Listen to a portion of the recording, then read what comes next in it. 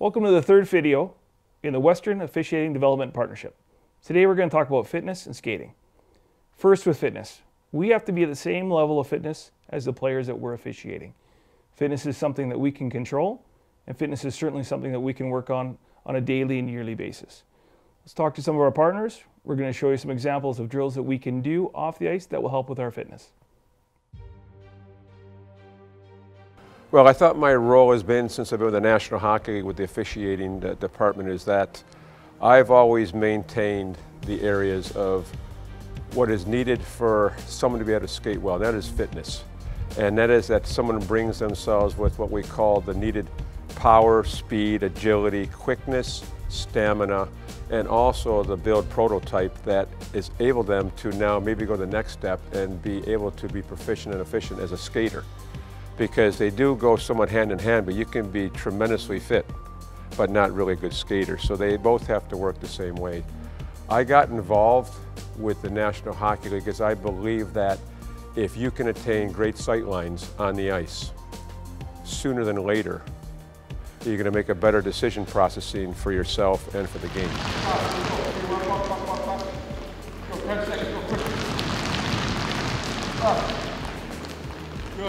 You need to be fit to get in the proper spots to be able to see the right things, right? If you're not the same fitness level as the players or uh, your fellow officials, you're going to bring down the team or get in the way or, right? There's lots of different things that uh, can impact your game if you're not in the right shape.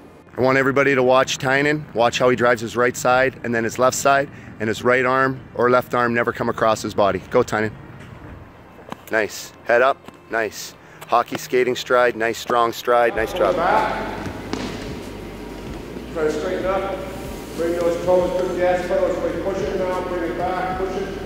In the summer, you take the time to really make some gains and build, and then during the season, it's a lot of maintaining what you built over the summer, over the rigors of the long season. Our second component this week is skating. The purpose of us skating is to find sight lines. And once we've found sight lines, we can use our good judgment to make good decisions in the game. In this session, we're going to talk to some of our partners. We're going to show you some drills that you can do on the ice to practice when you have some ice available for you. And we're going to show you some game situations and examples of our guys using good skating.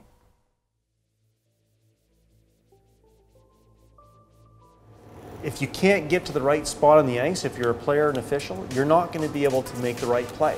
You're not going to be able to right, make the right decision. And so, what we look for in our officials is that they're able to skate at a level as good or better than the players that are on the ice. Fundamental positioning, some of the rudimentary skills that you learn early on in your career is the foundation for that. Then, of course, skating ability, anticipation, agility, and overall hockey knowledge or, or your hockey IQ to anticipate things is, is crucial. Our movements propel ourselves down the ice. Make sure we're driving with power, head still. Make sure we're making an opportunity to create speed with our upper body. Here we go. Nice job, nice job, nice job, nice job, nice job. Faster, faster. So underneath, cross under push. Find that dot, cross under push, find the dot, cross under push, find the dot. That's all I want. Cross over, keep my head up, nice job, explode. Backward C cut, nice job, cross back over, stop, C cut out, nice job, hell of a job, good work. Good work. Good job, good job, good job, solid effort, nice work. C cuts, crossover, C cut right back out, nice job. It's all about being able to skate to get to the right locations, to get the good sight lines, which is ultimately what officiating is about. Skating's really an unnatural movement for our bodies, so it puts a lot of strain on our hips. So I do a lot of hip stability and hip mobilizations to stay loose and to be able to get out of the tight spots that we get into in the confined surface of the rink.